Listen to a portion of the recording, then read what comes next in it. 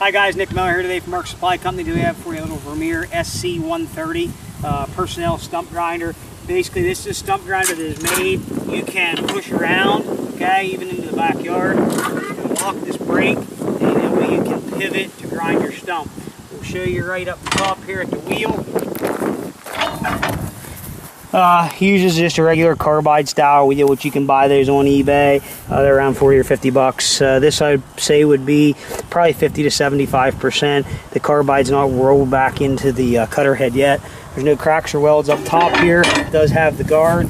Also, something else nice it does have does have the easy lift kit on it, so two guys can throw it up in the bed of a truck. Um, safety stuff here all works. 291 hours on it.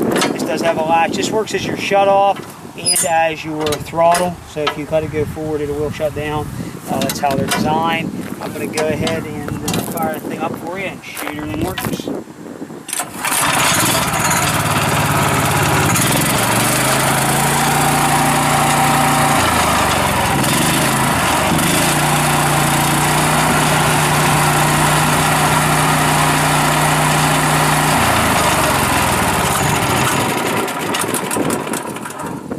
Well, I hope you can see our video starts runs work, doesn't have any smoke, noise, or blow by. Some people probably comment that's corny, we didn't grind anything, we didn't have anything here to grind, but everything does work. Uh, this is right out of a small business. We bought out all their stuff and uh, is in good running working condition. You have any questions, 814-658-3066. Thank you very much for checking out Mark Supply Company. Have a good day.